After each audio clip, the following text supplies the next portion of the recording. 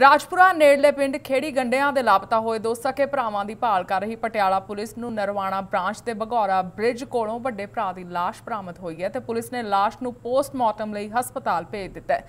ਉਧਰ ਜਦੋਂ ਪਰਿਵਾਰ ਨੂੰ ਇਸ ਗੱਲ ਦਾ ਪਤਾ ਲੱਗਿਆ ਤਾਂ ਪੂਰੇ ਪਰਿਵਾਰ ਵਿੱਚ ਮਾਤਮ ਛਾ ਗਿਆ ਤੇ ਪੂਰਾ ਪਰਿਵਾਰ ਇਸ ਸਮੇਂ ਸੋਗ ਦੀ ਲਹਿਰ ਵਿੱਚੋਂ ਗੁਜ਼ਰ ਰਿਹਾ ਹੈ।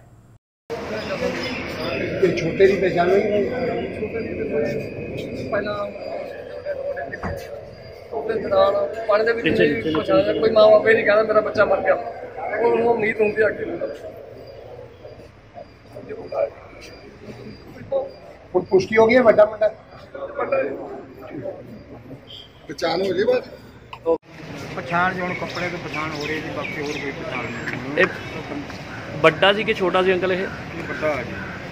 ਇਹਦਾ ਕੀ ਕੀ ਨਾਮ ਸੀਗਾ ਵੱਡੇ ਦਾ? ਇਹ ਜਸਨਦੀਪ ਜੀ। ਜਸ਼ਨਦੀਪ। ਤੇ ਤੁਸੀਂ ਕੀ ਲੱਗਦੇ ਸੀਗੇ ਇਹਨਾਂ ਦੇ? ਮੈਂ ਦਾਦਾ ਜੀ। ਦਾਦਾ ਲੱਗਦੇ। ਠੀਕ। ਤੇ ਹੁਣ ਛੋਟੇ ਦੀ ਪੁਸ਼ਟੀ ਹੋਈ ਹੈ? ਛੋਟੇ ਵਾਲੇ ਨੂੰ ਛੋਟੇ ਪਛਾਣਿਆ ਵਾਲੇ ਦੀ ਕੋਈ ਛੋਟੇ ਵਾਲਾ ਪਛਾਣ ਨਹੀਂ ਹੈ